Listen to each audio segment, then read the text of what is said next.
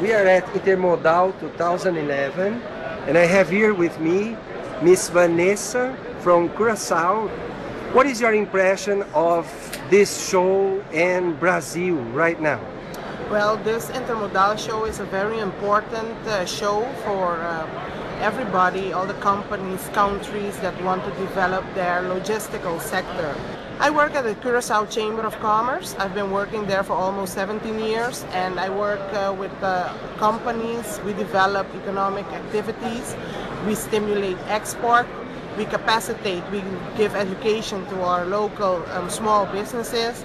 And uh, the reason why we are here at Intermodal is because, as I said earlier, we want to show the world that Curacao can offer a solution with regards to the transportation, or the facilitation of the logistics from one point to the other point.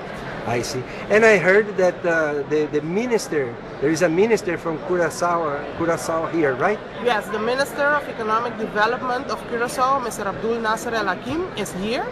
And uh, he is he heads the delegation uh, from Curacao and he's here to give um, more exposure and also to support the companies from Curacao that are present. We have approximately 16 companies from the logistics sector um, here with us at Intermodal in order to, uh, to gain more uh, knowledge and also to do business. What is the appeal for the foreign investor uh, to invest in, in Curacao? Well, um, there are many um, things that um, um, uh, can be done in Curacao and there are, are, many investment opportunities. We will focus now on logistics um, because uh, this is a logistics trade show. But besides logistics, there are other opportunities as well. We have a very good port. Um, Curacao is known for almost 400 years as a distribution center in the Caribbean. We have a very good port, very big, with very good uh, modern services. And we have the support of a very well-developed custom service. And we also have tools and incentives to stimulate the distribution of products through Curacao. Besides that, we also have a very good airport that has expansion opportunities. There are a lot of uh, lots around the airport that can be used for activities related to airports. For example, warehousing, transshipment um, um, of, uh, of goods, um, services related to um, logistics can also be done at the airport.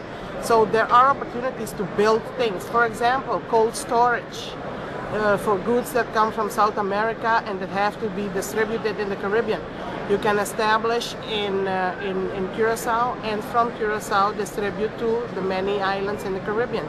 We have economic zones which are kind of easy, um, free trade zones.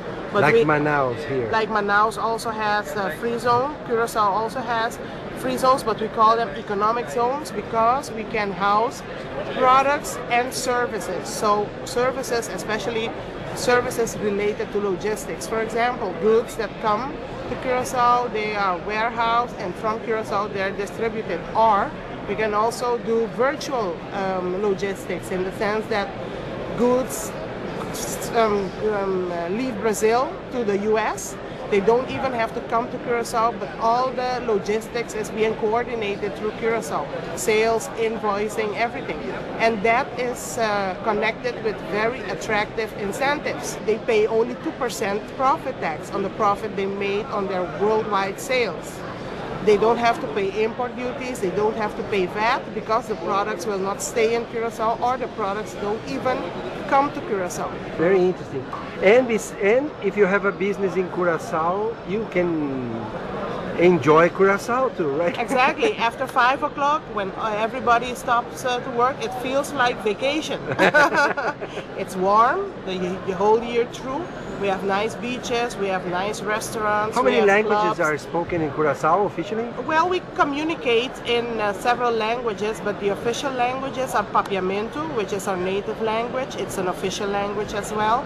Dutch is also an official language, wow. and uh, English and Spanish is widely spoken, and more and more people are starting to speak Portuguese because Brazil because of Brazil, because uh, uh, Brazil is a very important uh, market for us, and uh, that's why people are more and more uh, speaking Portuguese.